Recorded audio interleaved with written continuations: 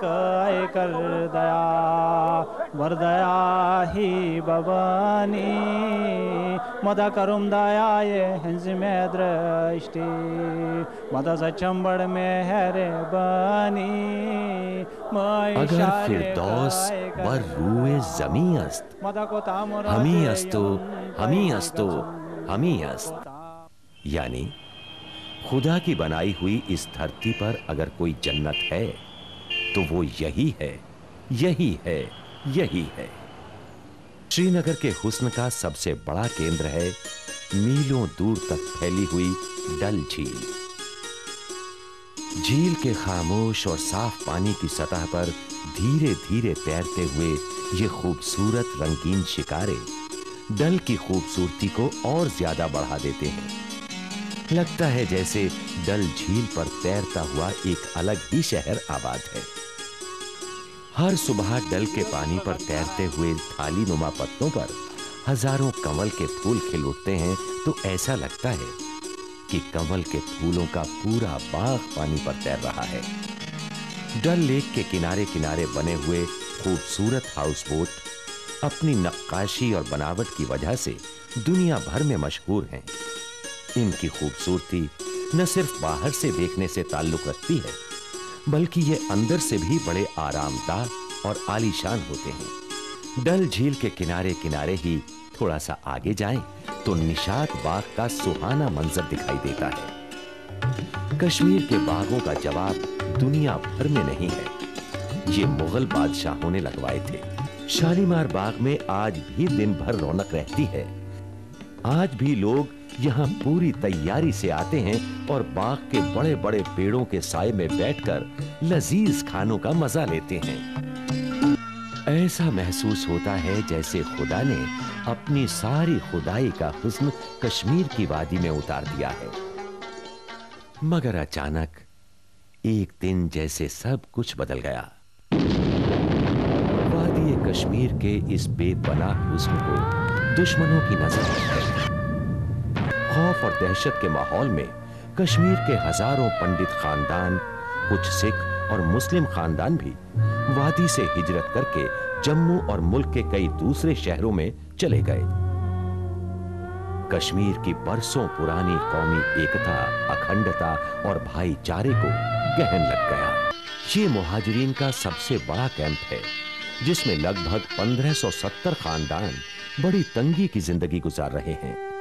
छोटे छोटे कमरे, तंग गलियाँ, बुनियादी सहूलियात की कमी, पक्की सड़कों का ना होना, स्कूलों की कमी, गर्म मौसम, बेकारी और बेरोजगारी। इन सब चीज़ों की वजह से इनकी ज़िंदगी बहुत से मसाइल का शिकार है। इन कश्मीरी पंडितों को सरकार ने बहुत से कैंपों में आसरा दिया है और राहत पहुँचाने की कोशिशें की हैं। जम्मू और उसके आसपास के इलाकों में बड़ी तादाद में कश्मीरी पंडित रिलीफ कैंपों में आसरा लिए हुए हैं। कश्मीरी समिति के सदर जनाब अमरनाथ वैष्णवी ने शुरू से ही इन मुहाजिर कश्मीरियों की बड़ी मदद की है। एसओएस होम में इन बच्चों को घर जैसा माहौल देने की कोशिश की जाती है। पढ़ाई के अलावा ये बच्चे यहाँ कई तरह के खेलों से दिल बहलाते हैं और बहुत से काम भी सीखते हैं। इस सिलसिले में बहुत से कश्मीरी दानिश्वर और उनकी बहुत सी तंजीमें और इदारे, इन हालात से लड़ने और अपने इस कीमती सरमाए को बचाने की कोशिशों में लगे हुए हैं। तो Kashmir academy of arts, culture and language भी एक ऐसा ही इदारा है जो इन कश्मीरी मुहाजिरों में कश्मीरियत को बरकरार रखने के लिए अक्सर कल्चरल प्रोग्राम्स करता रहता है।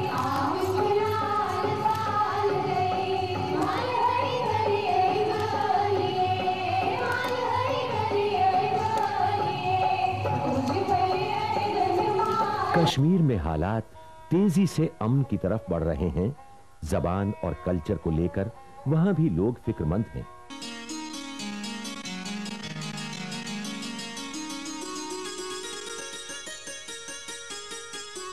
पंद्रह बरसों से अंधेरों की गोद में डूबा हुआ कश्मीर। अब ऐसा लगता है जैसे एक अंगड़ाई लेकर जाग उठा है। टूरिज़्म डिपार्टमेंट की जिद्दोजहद और कोशिशों ने पंद्रह बरसों से उजड़े कश्मीर को फिर से नई ज़िंदगी दी है। शिकारे वाले जो पिछले पंद्रह वर्षों से टूरिस्टों के कश्मीर में ना आने की वजह से हाथ पर हाथ रखे बैठे थे, इस साल हालात में तब्दीली आने की वजह से काफ़ी खुश हैं। उन्होंने इस साल काफ़ी अच्छा कारोबार किया है। ये कालीन कश्मीरी हैंडीक्राफ्ट का नादिर नमूना होते हैं, जो कश्मीर के लिए काफ़ी बड़ी तादाद में फॉरेन करेंसी भी कमाते हैं। पेपर माशी की ये चीज़ें देखते ही बनती हैं। कश्मीर से बाहर भी ये चीज़ें अपनी जगह बना चुकी हैं। आज कश्मीर में हज़ारों कारीगर इस सनत से अपनी रोजी रोटी कमा रहे हैं। मेरा दर्द तो कश्मीर के साथ है। कश्मीर में पैदा होने वालों के साथ है। क्यों नहीं? बुला क्यों लाए? वो अपना घर है। लात से दरवाज़ा खोल के आ जाए, बल्कि आना चाहिए। मेरे ख्याल में आना तो चाहिए। आइए और दिलों में बस जाइए। उनको आना चाहिए क्योंकि वहाँ भी वहाँ उनको बहुत तकलीफ़ होगी और उनको आना चाहिए वापस ताकि हम भी चैन से बैठें। हमें चैन नहीं मिलता है उनके बगैर। सवाल आप मेरे माता पिता से पूछेंगे वो यही कहेंगे साहब हम मरना वहीं चाहते हैं। Because I am also a Kashmiri Pandit किसी कश्मीरी पंडित से पूछेंगे वो यही कहेगा यार वापस जाना है या हम जम्मू में आके या बाहर आके मर गए। उम्मीद पे ही मेरे ख्याल अगर कश्मीरी पंडित कश्मीर से इस वक्त ज़िंदा है वो उम्मीद की वजह से है। तो हमारी सबों से ये अपील है और हमने उनसे कई बार मीटिंगें भी की कि आपके बगैर रियासत जम्मू व कश्मीर खसूस वेली कश्मीर नामुकम्मल है। कश्मीरी पंडितों के बगैर कश्मीर अधूरा है। अगर वो आ जाएँ तो ये पूरा हो जाएगा।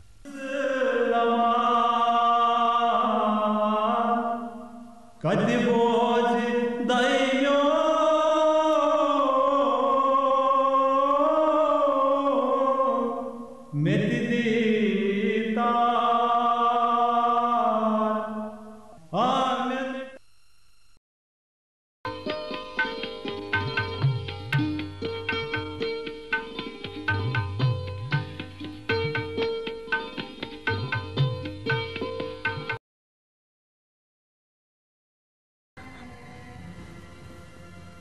मैंने सोचा था कि तुम्हें अचानक बताकर हैरान कर दूँगी। तुम बेहद खुश होकर मुझसे लिपट जाओगे और कहोगे, नैना, बस, खत्म हो गई हमारी छुट्टी। अब मैं कहीं नहीं जाऊँगा। लेकिन तुमने तो आते ही जाने का फसाना छेड़ दिया। कहाँ जा रहे हो तुम?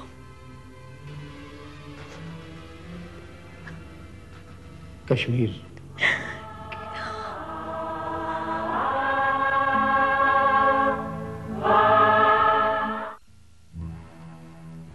आप लोग जानते हैं? आज अचानक आप लोगों को यहाँ क्यों बुलाया गया? नहीं। यकीनन आप इस सच से अच्छी तरह वाकिफ हैं उबैदुल्ला। और ये भी समझते हैं कि हमारा जिहाद दिन ब दिन कमज़ोर क्यों होता जा रहा है। उन्होंने अब हथियारों के आगे घुटने टेकने से इनकार कर दिया है। अगर ऐसा होता है तो यह हमारे और हमारी तंजीम के लिए खतरनाक है। क्योंकि हम मुट्ठी भर हैं और अवाम की मुट्ठियाँ लाखों में हैं। तुम्हारी बातों से कमज़ोरी और बुजदली की बू आती है। लंबी उम्र के लिए ज़रूरी है कि इस कमज़ोरी और बुजदली को दिल से निकाल करके फेंक दिया जाए। बच्चे, मैं तुम्हारे लिए और तुम्हारी लंबी उम्र के लिए दुआ करता हूँ। खैर तो मैं कह रहा था कि ऊपर से ऑर्डर आया है। एक बार फिर इस शहर को दहशत पसंदी के शोलों में झोंक देना है। और ये काम करोगे तुम लोग। शीशा गिराओ। शीशा गिराओ। उधर हटो। क्या बदतमीजी है ये? उधर हटाओ मैंने कहा ये क्या बदतमीजी है? कानून अपने हाथ में ले रहे हो। देखो तुम जो कुछ भी कर रहे हो बहुत गलत कर रहे हो। बहुत पछताओगे तुम। मेरी समझ में नहीं आ रहा, आखिर तुम कर क्या रहे हो? क्या चाहते हो तुम? बोलते क्यों नहीं? ठीक है, मैं तुम्हारे साथ चलने को तैयार हूँ, लेकिन तुम रिवॉल्वर नीचे रख दो।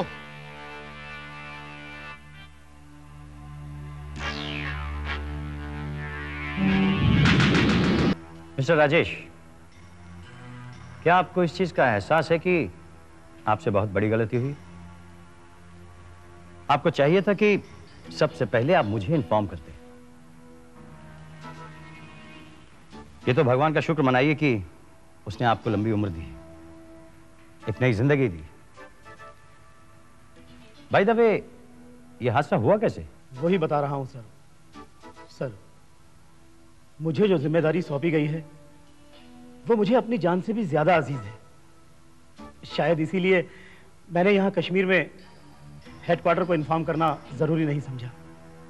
क्योंकि सर मेरे सामने सबसे पहले ड्यूटी ये थी कि मैं यहाँ कश्मीर और कश्मीर के आवाम की नफ्स को पहचानूं। हम चाहते हैं कि ये जो कुछ छुटपुट लोग बचे हैं ये भी पड़ोसी मुल्क के शिकंजे से बाहर आ जाए। यस सर वो लोग भी वापस आ रहे हैं। खुद दहशत पसंद भी इस दहशत भरी ज़िंदगी से उगता चुके हैं। और इस बात की ज़िंदा मिसाल है वो नौजवान। जिसने मेरी जान बचाई थी। उस लड़के को हमें ढूंढना होगा। और कश्मीर को दहशत से मुकम्मल पाक करना ही हमारा असल मिशन है।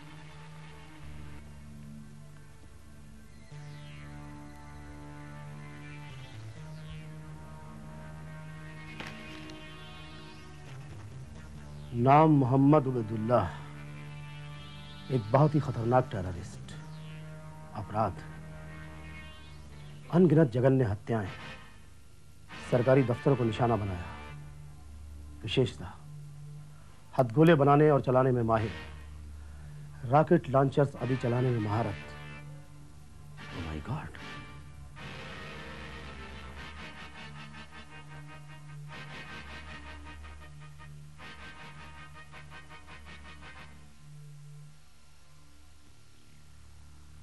तुम्हें पूरा यकीन है कि यह लड़का वही है? यस yes, सर मैं पूरे यकीन के साथ कह सकता हूँ कि ये वही लड़का है। जी कहिए। आई एम फ्रॉम पुलिस ये उबैदुल्ला का घर है? जी।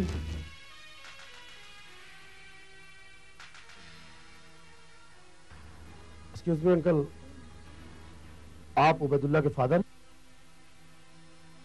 था। क्या मतलब है आपका? इससे पहले भी कितने ही बार पुलिस उसकी तलाश में यहाँ आ चुकी है। एक ही जवाब देते देते थक चुके हैं हम। वो नहीं है, यहाँ नहीं रहता। उसे ऑफ़ कर चुके हैं हम और इस पर भी आप लोगों को यकीन नहीं आता। तो एक गद्दार बेटे की जो सजा, एक बाप को मिलनी चाहिए, हमें मंजूर है। लगाइए हथकड़ी और सलाखों के पीछे डाल दीजिए उसके पूरे खानदान को। खुदा की कसम सच कहते हैं एक लफ्ज भी मुँह से नहीं निकालेंगे हम। नहीं निकालेंगे। नहीं अंकल आप गलत समझ रहे हैं। उबैदुल्ला ने ऐसा कोई काम नहीं किया जिसके लिए आपको शर्मिंदा होना पड़े।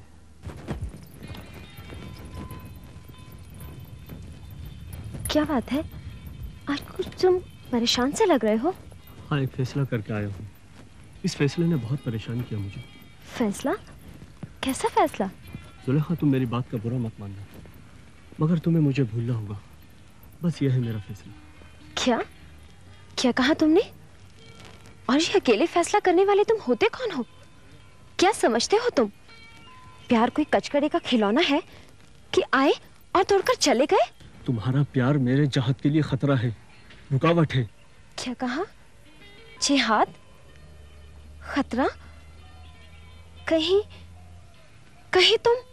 वो नहीं चाहते कि हमारे इस अजीम मिशन में कोई रुकावट आए।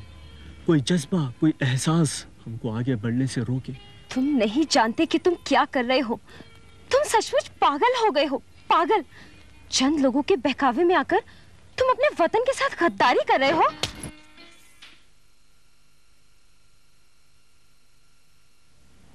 ये मेरा आखिरी फैसला है। मैं जा रहा हूँ तुम्हारी ज़िंदगी से दूर। हमेशा के लिए।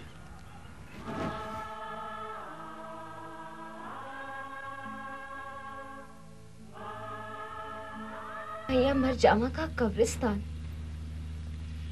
वो जगह न जाने क्यों?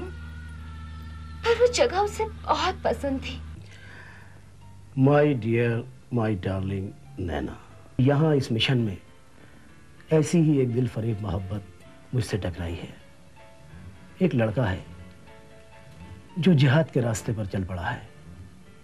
एक लड़की है, खूबसूरत, भोली भाली, जो उस लड़के से बेनतहा मोहब्बत करती है, जिसकी आँखें उसके इंतज़ार में पथरा गई हैं। नैना, इन दो नदियों का संगम बहुत ज़रूरी है। मुझे ऐसा लगता है, नैना, जैसे इनके मिले बगैर मेरा मिशन अधूरा है।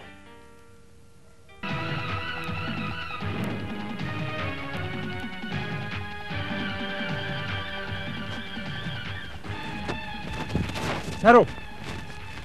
तुम लोग अपनी बंदूकें यहीं छुपा दो, क्योंकि उस इलाके में मिलिट्री होगी। और मिलिट्री का कोई जवान अगर कोई सवाल पूछे तो जवाब मैं दूँगा। तुम लोग खामोश रहोगे, समझ गए? छुपाओ जल्दी।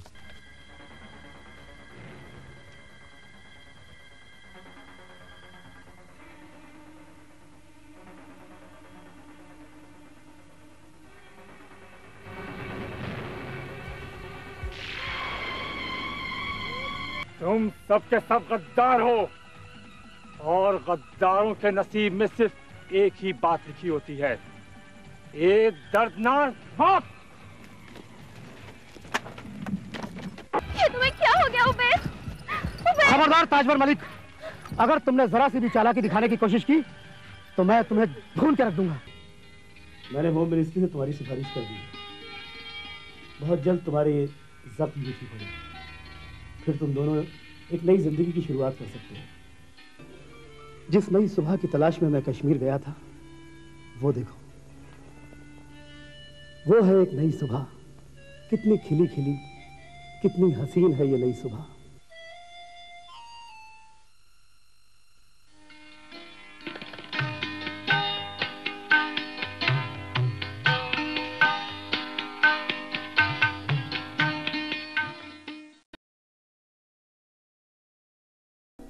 उर्दू थिएटर आज़ादी के बाद उर्दू थिएटर आज़ादी के बाद उर्दू थिएटर आज़ादी के बाद। दर बदला जमाने की बदली डगर बात लंबी मगर है बयां मुख्तसर। तो चलो फिर ड्रामा देखते हैं। ड्रामा तो ज़िंदगी के करीब होता है। और वैसे भी ड्रामे अपने इब्तदाई दौर से काफ़ी आगे निकल चुके हैं। क्यों ना उर्दू का कोई ड्रामा देखें? हाँ लेकिन देखने से पहले क्यों ना उर्दू ड्रामों की शुरुआत के बारे में कुछ बात करें। उर्दू नाटक की इब्तदा जो है वो सबसे पहले वाहिद अली शाह के ज़माने में होती है। और वाहिद अली शाह के इस ड्रामे का ज़िक्र उनकी तसनीफ बनी में मिलता है। उर्दू ड्रामों की शुरुआत वाजिद अली शाह ने की थी। और ये वाजिद अली शाह बड़े रसिया किस्म के नवाब थे। हाँ रसिया तो थे पर कला थे कला उनके पोर पोर में बसी थी। उनके दरबार में एक से बढ़कर एक कलाकार थे। और जानते हो वाजिद अली शाह के किस्सा राधा कन्हैया से प्रभावित होकर सन अठारह ईस्वी में अमानत लखनवी ने इंद्र सभा नामक नाटक की रचना की। ड्रामा की तारीख में इंद्र सभा एक पहला ड्रामा है जिसको म्यूज़िक के लिए लिखा गया। उर्दू ड्रामे के सफ़र में इंद्र सभा की कल्पना एक मधुर कल्पना थी। इंद्र सभा के एक एक मुकालमे पर लोग झूम उठते थे। सारा हॉल तालियों की गड़गड़ाहट से गूंज उठता था। एक एक अदा पर देखने वालों की आहें निकल जाया करती थी। तो क्यों ना इंद्र सभा नाटक का एक मंजर देख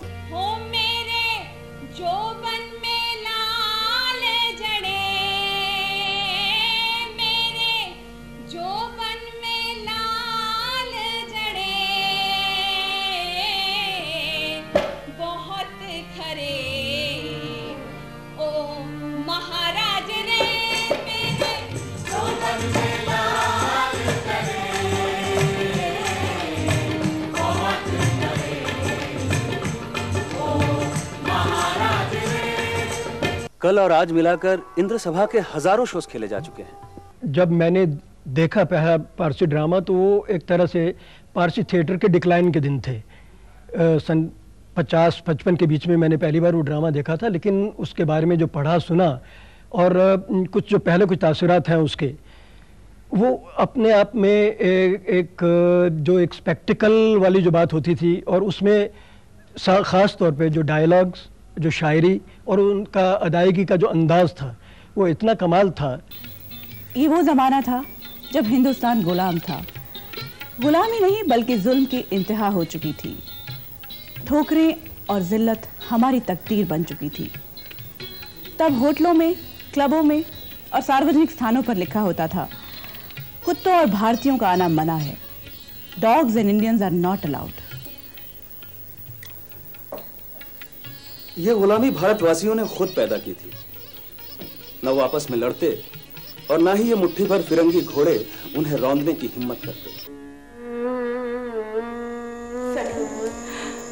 तुम्हें क्या मिल गया सलीम?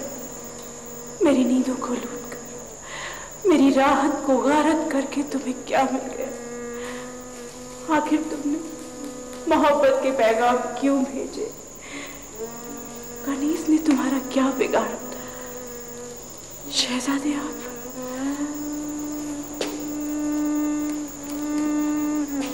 मैं भी एक इंसान हूँ, अनारकली। एक कमज़ोर इंसान।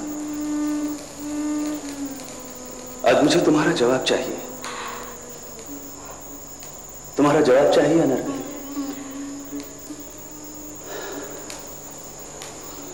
तुम्हारी खामोशी ने मुझे जवाब दे दिया।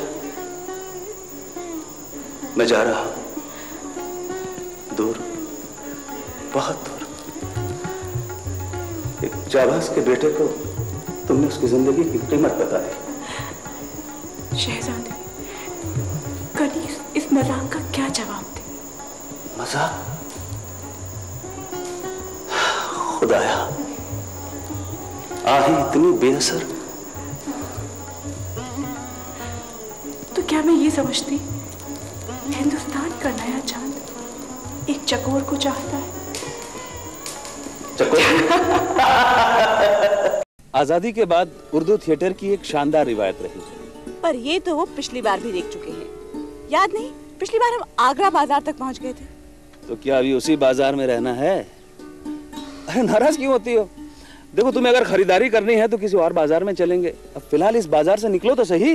पर आगरा बाज़ार भी तो उर्दू थिएटर में एक माइलस्टोन यानी कि संग मील की अहमियत रखता है। तो फिर क्यों ना इसी के बारे में कुछ और मालूमात हासिल करें? बीब तनवीर ने पहला ड्रामा या तकरीबन पहला ड्रामा आगरा बाज़ार लिखा और उर्दू के पसमंजर में लिखा। नज़ीर अग्रवादी को पेश किया। उस और एक नई टेक्निक से पेश किया कि कहीं शुरू से आखिर तक नज़ीर स्टेज पर नहीं आते। अजहर का ख्वाब। बर्नाड शाह के मशहूर ड्रामा पिग्मेलियन पर आधारित था। फूल वालों की सैर के मेले में मशहूर माहिर जबान प्रोफेसर आजर की मुलाकात एक कुंजड़न हज्जों से होती है।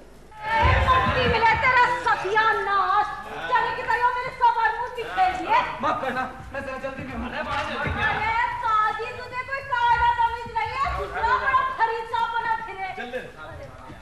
ए लड़की तुम मेरे बेटे का नाम क्यों कर जानती हो अच्छा तो ये तेरा लोडा है यहाँ ये कहानी शाह के पिग्मेलियन के मौजू से अलग हो जाती है। और इसीलिए उर्दू ड्रामे अपने मसाइल और अपने मुआशरे को ज़्यादा तरजीह देते हैं। उर्दू का एक और मशहूर ड्रामा है कैद हयात। कैद हयात को बेशुमार कामयाबी मिली। दरअसल ये मशहूर शायर मिर्ज़ा गालिब की कहानी है। ऐसा भी कहीं होता है? ये मेरी दरखास्त है। हम तो कयामत नहीं मान सकते। अच्छा ठीक है तो फिर एक दूसरी दरखास्त है और अब अगर आपने नहीं मानी तो मैं अपने इस दीवान की नकल नवीसी किसी और कातिब को सौंप दूँगा। अच्छा? मिर्ज़ा गालिब की शायरी ही नहीं। उनकी अपनी ज़िंदगी भी इतनी अजीब थी कि वो जल्द ही आवाम और खवास के हीरो बन गए। किसी की खुशनवीसी को कल एक शेर में नज्म किया है। रदीफ अलिफ में से दर्जा अव्वल अता फरमाई है यानी जब भी कोई मेरा दीवान खोले तो सबसे पहले यही मिसरा सामने आए। इरशाद। बना में आके उन्ना में नदारत।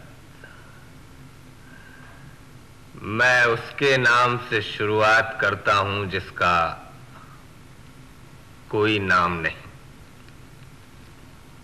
बात यह है कि इन सारे नाटकों की ज़ुबान उर्दू थी। इसी तरह इंटा, यानी इंडियन नेशनल थिएटर एसोसिएशन, इसकी भी स्थापना कमला देवी ने 1944 में ही की। इसमें गुजराती और हिंदी कलाकार शामिल थे। सत्यु कमला करवते, जोगलय, जैसे कलाकार इससे वाबस्ता थे। सत्यु ने बहुत सारे नाटकों का, इप्टा से, मसलन खालिद की खाला, हम फरिश्ते नहीं, ऐसे नाटकों का मंचन किया। हिंदुस्तानी थिएटर का भी उर्दू थिएटर के सफ़र को आगे बढ़ाने में काफ़ी योगदान रहा। कुदसिया जैदी ने हिंदुस्तानी थिएटर की स्थापना की। हबीब तनवीर के अलावा नियाज हैदर भी इसके साथ जुड़े रहे। आजर का ख्वाब, गुड़ियाघर वगैरह हिंदुस्तानी थिएटर की निगरानी में होने वाले कई कामयाब ड्रामे थे।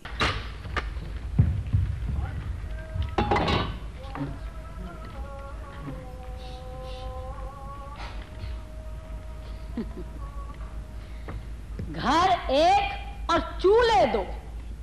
इसी तरह तो घर बटते हैं। घर ही नहीं वतन और शहर भी। घरों के उजड़ने और वतन के बंटवारे का दुख हर किसी को है कर्मा वाली। हाँ शायद कुछ लोगों को छोड़कर इस बंटवारे की खुशी किसी को नहीं हुई होगी। क्या पहले भी ऐसे मुल्कों का बंटवारा हुआ है? क्या पता बेटी यहाँ तो जानवर भी अपना बंटवारा पसंद नहीं करते। हाँ मगर आदमी की जात कब क्या सोचती है, क्या कर बैठती है, कुछ कहा नहीं जा सकता। अब हम कभी भी उस पर नहीं जा सकते।